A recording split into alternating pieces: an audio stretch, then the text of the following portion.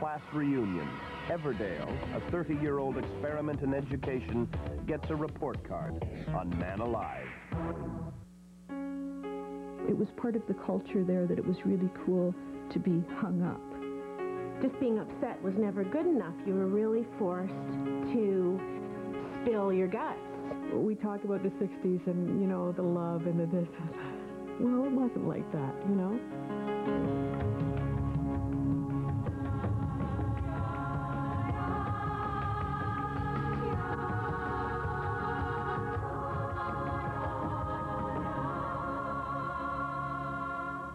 Often think that by recognizing the obsessions of a past era, we see better the obsessions of our own era. Hello, I'm R.H. Thompson, and welcome to Man Alive. Tonight we follow Naomi McCormick back in time as she revisits her teenage memories and her idealism.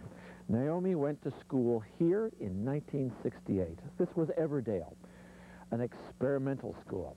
Here staff and students engaged themselves in radical new directions. You remember the 60s? Anti-war marches, free love, LSD. The obsession was to question every limit and structure in sight. Social limits, psychological limits, moral limits, educational limits. Everdale championed process. Process was thought to be more important than the result. This is an old idea. And this school championed Naomi's process of opening herself to learning and to her life. So was it worth it? And did Everdale's idealism prepare her for what was to come? Education certainly has been wrenched in the opposite direction. Our leaders now tell us education should be run like a business. It must serve its clients. Graduates must be made more marketable. In other words, the result is now more important than the process. The exact reverse of Naomi's Everdale. What can I say? Obsessive, eh? In the summer of 1995, I discovered a box of old books, letters, and diaries, all dating from the years I spent as a teenager at the Everdale Place, a free school community. I had come to Everdale in 1968, a curious 13-year-old with big ambitions, eager to be part of this utopian experiment in communal living and radical education.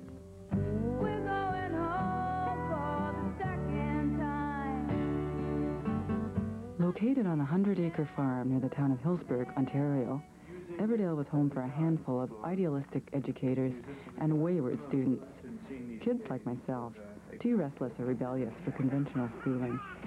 Everdale was where I studied Marx and Marcuse, where I lost my virginity and learned how to butcher a cow, where I gave up my childish dream of becoming prime minister and began to see myself as a cog in the wheel of the coming revolution.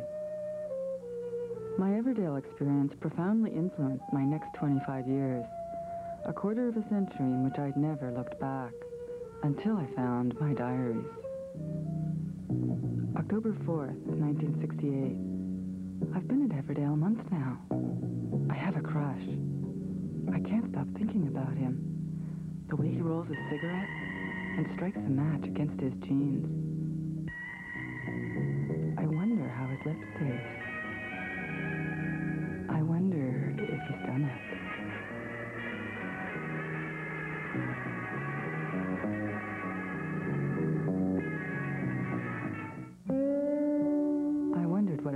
My first love?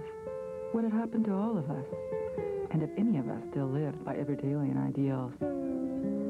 Finding those diaries stirred up strange doubts.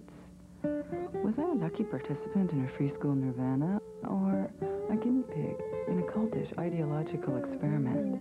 Everdale, what was it really all about?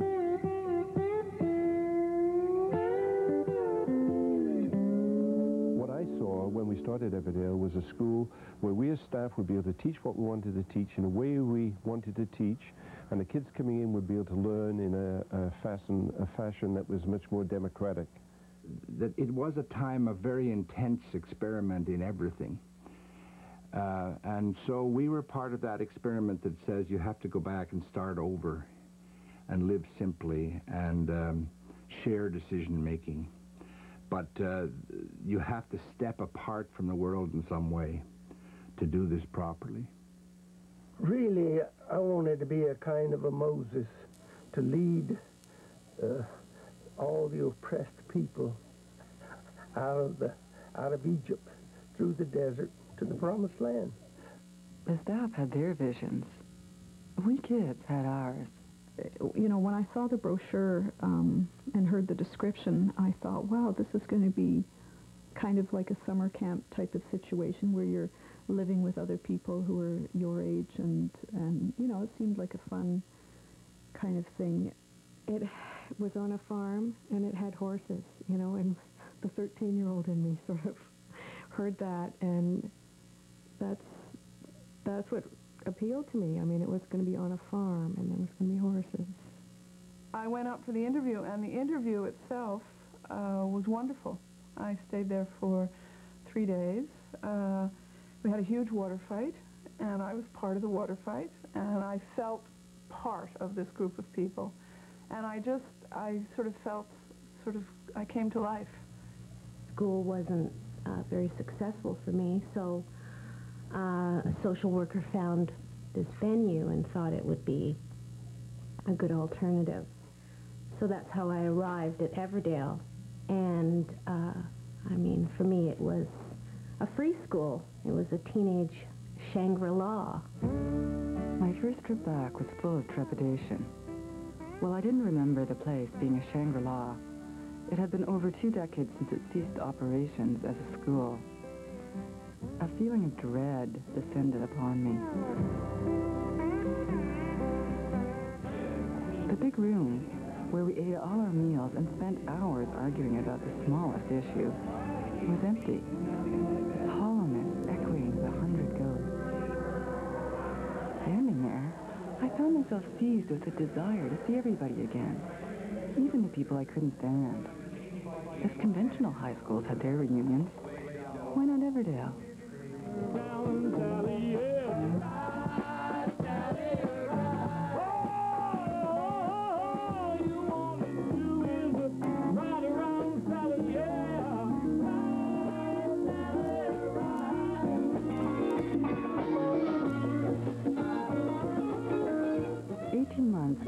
Phone calls later, almost 60 of the students, staff, and hangers-on who called Everdale home have made it back. I wonder what everyone's looking forward to this weekend.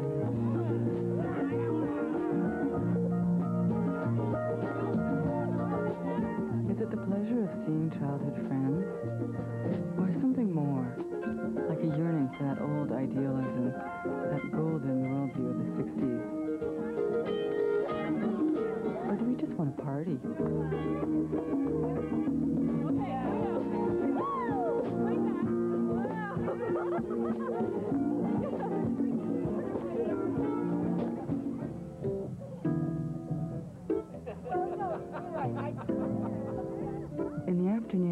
Bob rounds us up for the film screening.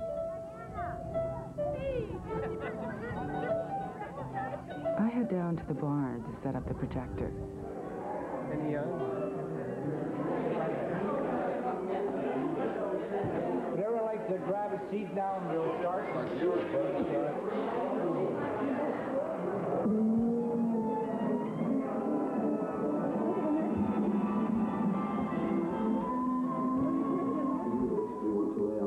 Up is Don Shebib's 1966 documentary. I, I want to see kids come to this school and in the course of their time here find out what they are capable of doing to discover what talents they really have. Now, to do this, we want to lay on at the school as many things as possible in the line of arts, music, crafts, agricultural work, outside activities of various sorts, as well as the regular academic work. And in the course of time, students will try all these things, I hope, find out what they like to do, what they can do, and get some clear idea of what they ultimately want to do with their lives. The reality was that the kids didn't much want to talk to the adult group. They wanted to talk to each other. And so they would stay up all night talking, and uh, when morning came and we were all ready to go and educate them, they were all sleeping and didn't want to get up and didn't feel obliged to get up. So we had conflict right there. because we felt a certain responsibility, particularly as we had some younger kids. We felt the need that uh, for them to reflect on what they were doing by not participating in a process. And this ultimately became the nub of the final fight, the final showdown. And it was really, in the end, a battle between process and performance. People who believed we should be doing things and people who felt that to reflect and to talk about things was the process, was the important process. It was definitely one of the uh, approaches that I brought to the school was that uh, it's a good thing to be able to talk about how you're feeling about things and uh, endlessly. That's one thing we still do well. The next morning, we gather under the tent canopy to reminisce. Having taught high school in rural Manitoba for five or six years, we, Jim and I, joined Bob Davis and Al Rimmer, the founders of Everdale, to start an alternate school based on the teachings of um, A.S. Neill, if you like, in Summerhill. Now, coming as teachers with an academic background, you have to admit we were sort of shocked out of our skulls to find out that we were sitting in an empty classroom and kids might pass by and say, Hi, Ruth, see you at lunch. if you came to teach within the walls of a classroom, forget it. You would have packed up and gone home. And so the definition of a school community, to me, took on the focus of a community. It was like a education in different ways of thinking and different lifestyles. And for me, that was great to just, uh, you know, just really, I began to flower here. And uh, living in community, you know, and having all these close friends. I remember walking around, I, I didn't understand what love was, you know, and I would say, do you really love me? You know, mm-hmm. and uh, there were, like everyone was so affectionate and warm and hugging each other all the time.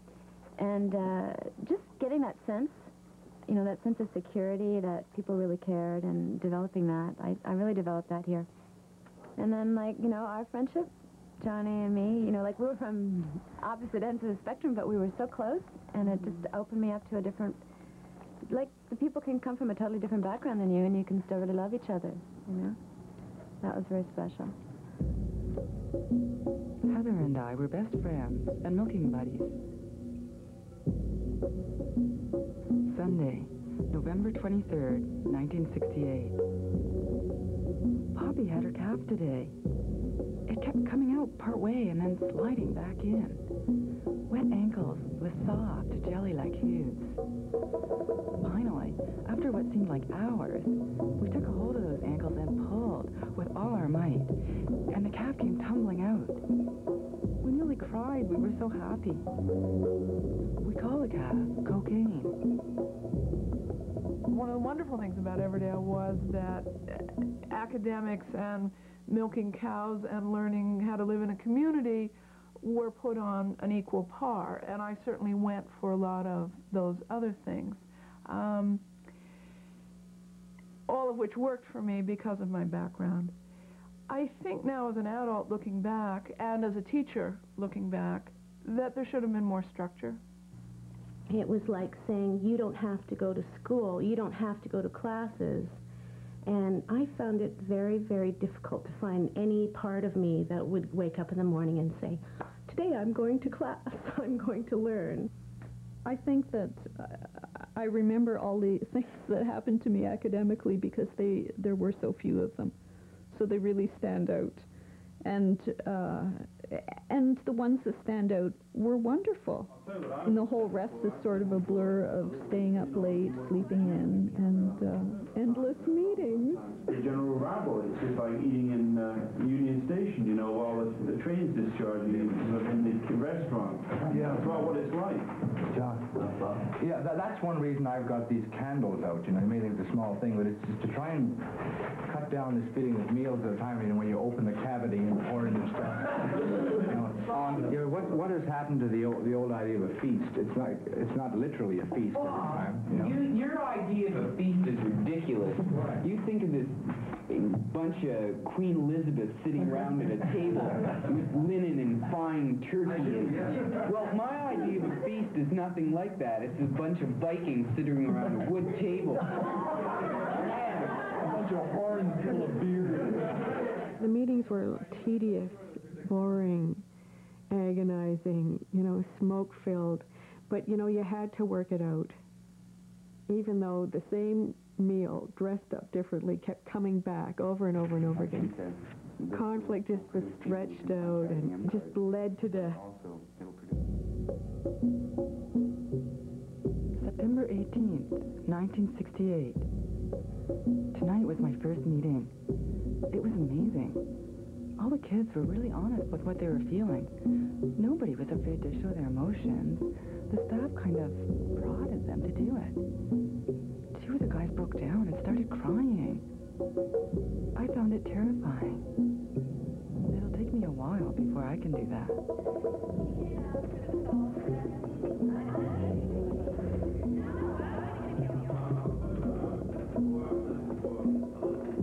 February 29, 1969. Today at the meeting, one of the new guys asked if he could have a door put on his room.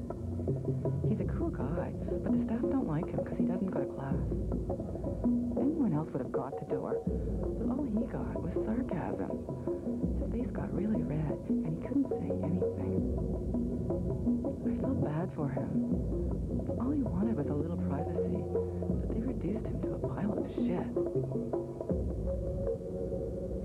Being upset was never good enough. You were really forced to spill your guts.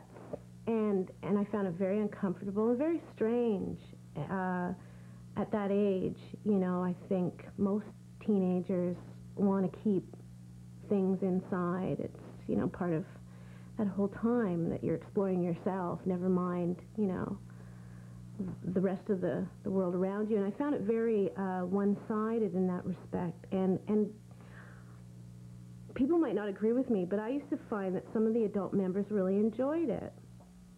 You know, I feel so ambivalent about Everdale. On the one hand, it was maybe one of the first times in my life that I really felt at home and felt comfortable much of the time. On the other hand, it was a time of my life where I felt really deeply depressed a lot. Now, it's difficult to even understand it myself. Um, I think uh, partly it, it, was, you know, it was part of the culture there that it was really cool to be hung up and depressed, you know. And and I mean, the bigger story you had over someone else, then then then it made you a little more interesting.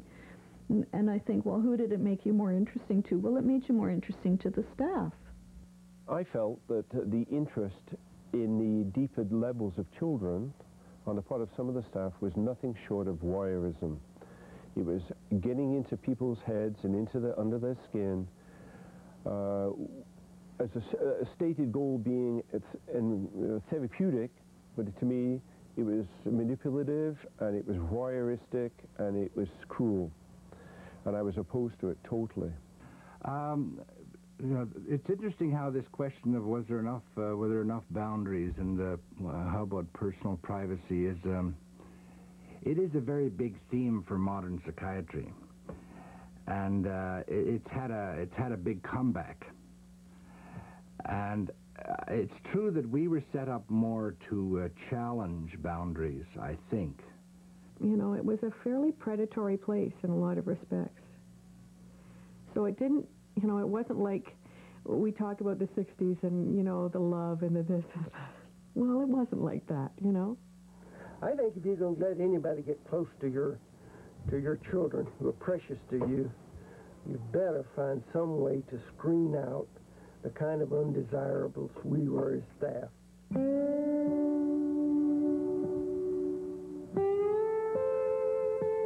The ceremony of innocence should not be drowned. Well, the ceremony of innocence was definitely drowned here. You know, uh, I don't think people who really knew what was happening walked away from here.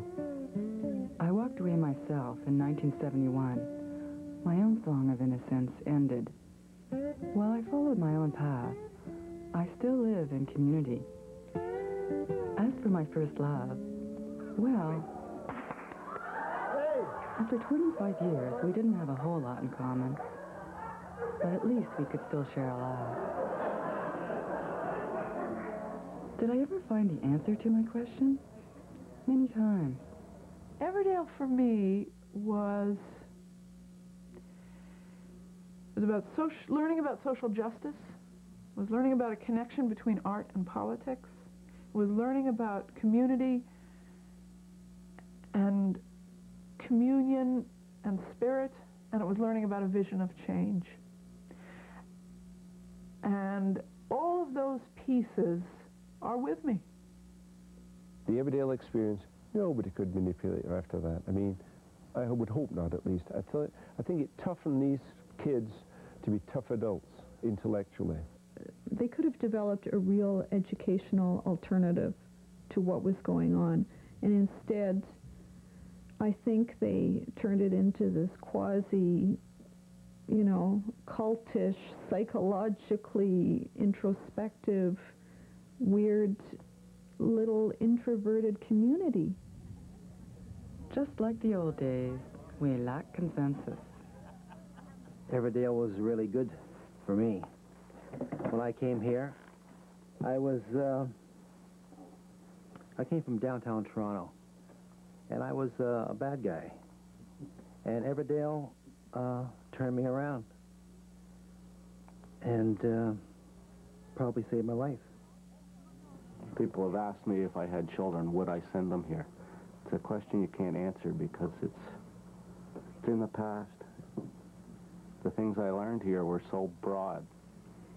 Uh, I have a joke where I say the things I learned were very defined. I learned to ride motorcycles. I was a champion. I learned to take drugs. I was good at that.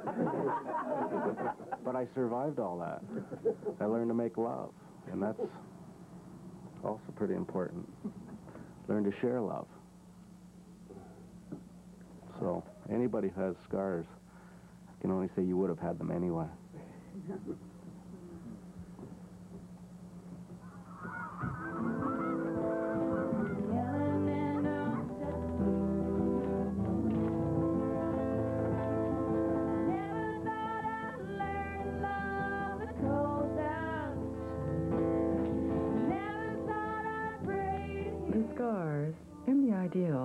marked my Everdale years gave me the ley lines for the map that was to be my adult life. My Everdale was about dreams and passion and teenage angst, cooked up with a dash of self-delusion in a big communal pot. Am I glad that I was part of the Everdale experiment? I still don't know. Am I happy that I went back? Absolutely.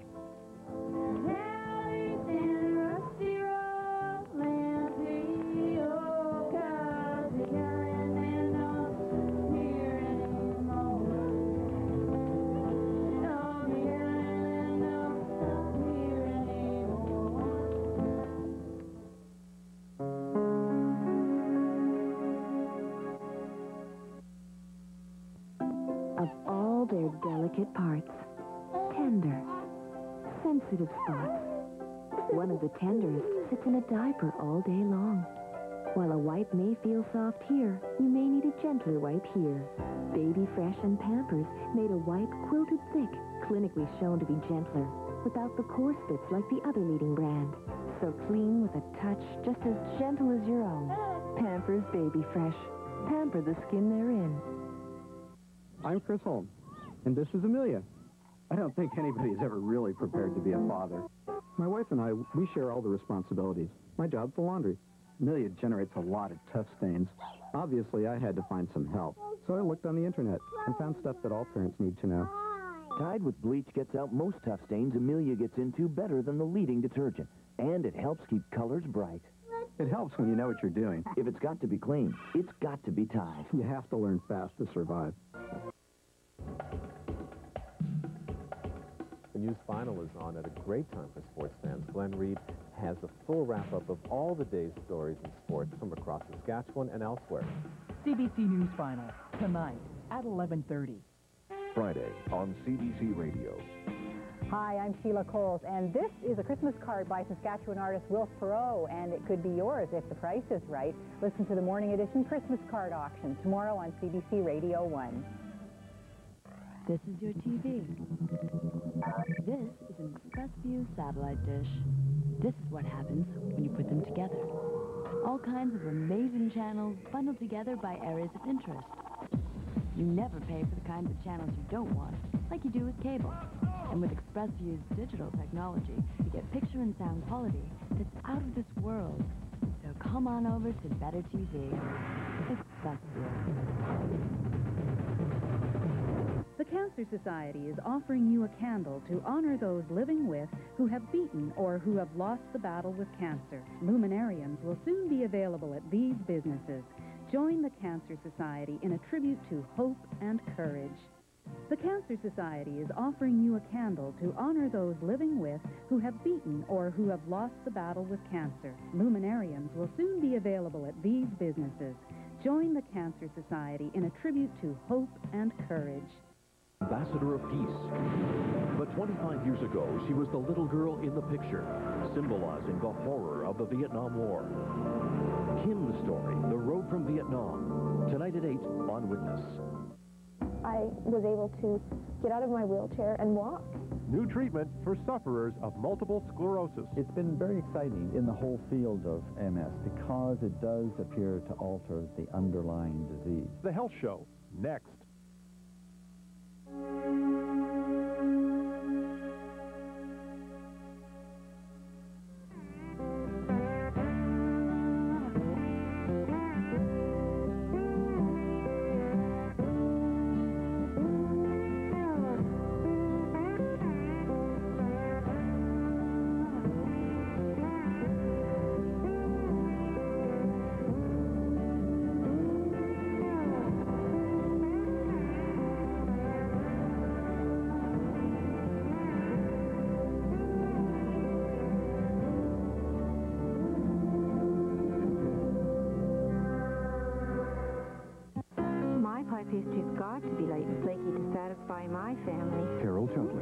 Professional baker. My secret, Crisco shortening. Crisco makes pastry light and flaky. It even guides you step by step with really easy baking tips. Here's my Crisco favorite. Roll the dough over waxed paper. It's easier to handle and less handling helps Crisco pastry bake up light and flaky. And Crisco is all vegetable, 100%. Delicious. Cooks who know. Trust Crisco. The Grime Zones. They're tough, they're all over the house, and they're about to meet their match. Introducing new Stronger Mr. Clean, now with even more muscle for tough grime, like stovetop grease, mudroom muck, and kids being kids dirt. It all shines clean because new Mr. Clean muscles under to lift off dirt faster, better than the leading pine cleaner. Mr. Clean takes the tough out of grime zones. Everywhere, new Mr. Clean shines through, even better than Cancer Society is offering you a candle to honor those living with who have beaten or who have lost the battle with cancer. Luminariums will soon be available at these businesses. Join the Cancer Society in a tribute to hope and courage.